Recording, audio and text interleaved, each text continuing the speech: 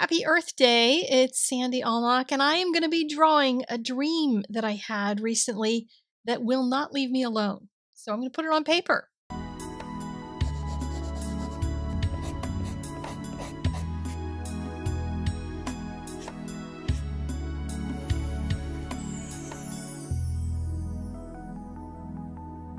As I was pondering what to do for my Earth Day drawing, I had a dream one night and I couldn't get it out of my head. So it ended up on paper.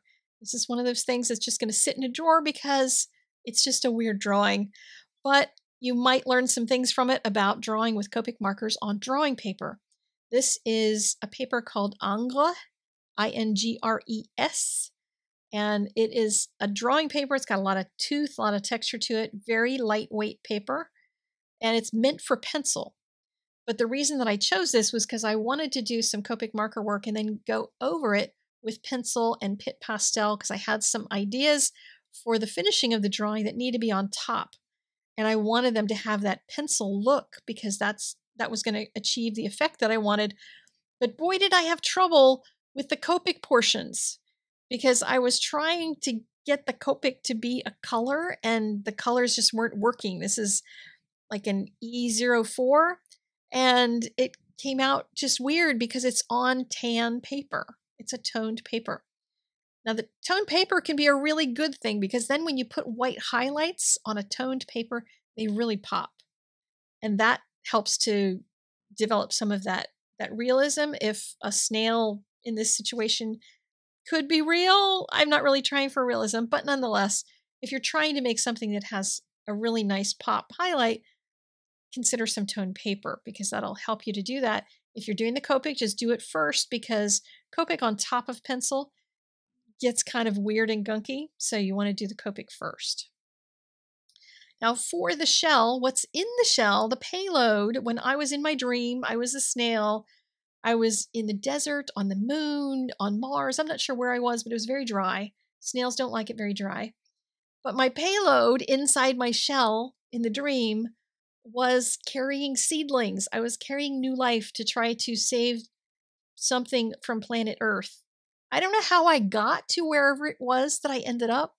There, that part of the dream like didn't stick in my head, but nonetheless, I I put the little terrarium-like plants into the shell. Now, I did do some research on snails, and I found out that their shells are not empty. Eh, they don't just carry a big old empty thing on their back so they can crawl into it when they want to go to bed, which is what I thought when I was a little kid. I had a totally wrong impression.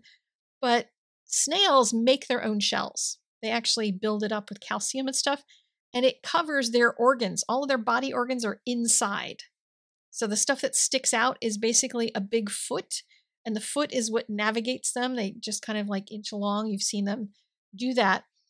So this whole thing in reality is not real because they don't have a big empty shell and they certainly don't have one that's glass, but nonetheless, there you go. So the terrarium, I also had to like figure out, I don't know anything about terrariums. I think I had a terrarium when I was a little kid, but I put sand at the bottom. I did some Copic marker along the bottom going from darker to lighter and then did white pencil on top of it Again, white pencil on top because putting marker on, on top of the pencil is going to just get weird.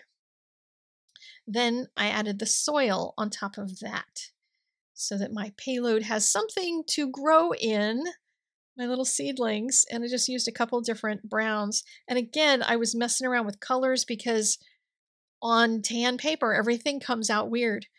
I've said before, if you're going to use your Copic markers on a particular colored paper, on a regular basis. I recommend printing a color chart, like my hex chart, onto the colored paper so that you can swatch all your colors and know what they look like because the colors I had to use in the snail were actually pinks, which is very weird to have to make things out of pinks, but nonetheless. Next step was going to be to add the background because I had to add the moon, the Mars, the desert, the whatever it is. So I used some Frisket film, which is sticky back film, to cover up the shell and part of the snail itself. Just cutting that with a knife, pulling away the excess so that I could do some Copic airbrush in the background because this is going to be tone on tone. The color is just going to sit on top of the surface, but I'll be able to work into that a little bit and have some color in the background for sand dunes, whatever it's going to be in the background. And then I cut through on the inside, leaving the plants masked and leaving an outline around the shell itself. So when I peeled it off, I had the inner area that I could do some lighter airbrushing.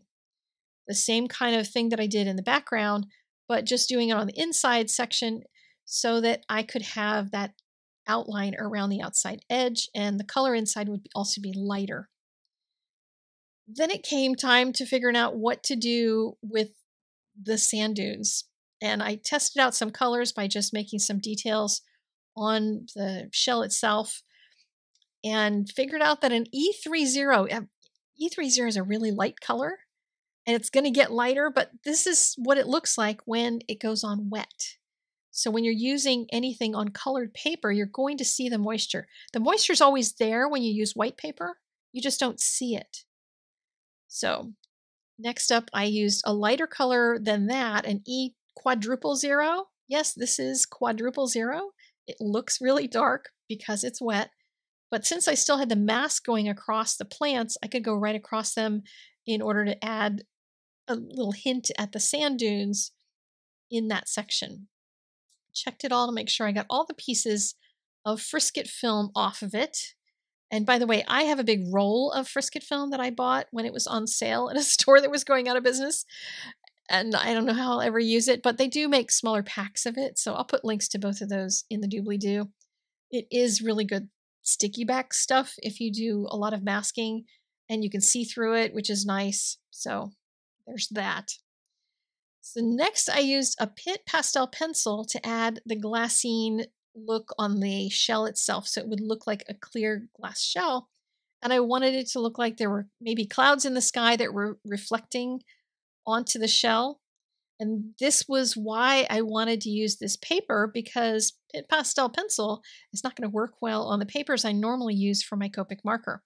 But I thought I could make the Copic marker perhaps work on the drawing paper and then get the best of both worlds, doing the Copic drawing plus the Pitt pastel and the regular Prismacolor pencil that I used in the some of the smaller details.